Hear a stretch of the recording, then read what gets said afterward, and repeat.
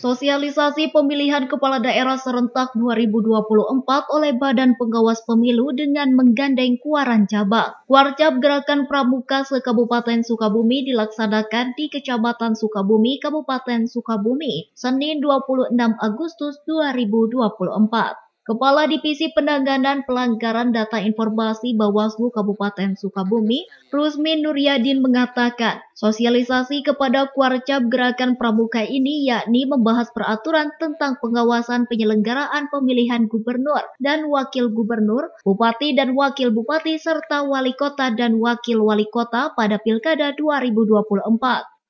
Dilibatkannya Kuarca Pramuka di penyelenggaraan Pilkada tahun 2024 ini sebagai bentuk partisipasi dalam menyukseskan Pilkada 2024. Karena memang kalau di Perbawaslu 6 di 2024 itu kan tadi sudah saya sampaikan berkenaan dengan pengawasan. Jadi memang pengawasan ini kan sifatnya ada yang partisipatif.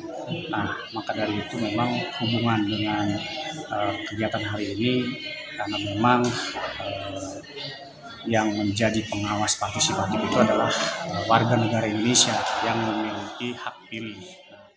Demi terlaksananya Pilkada serentak 2024, diharapkan partisipasi dan peran semua elemen masyarakat di ajang kontestasi ini.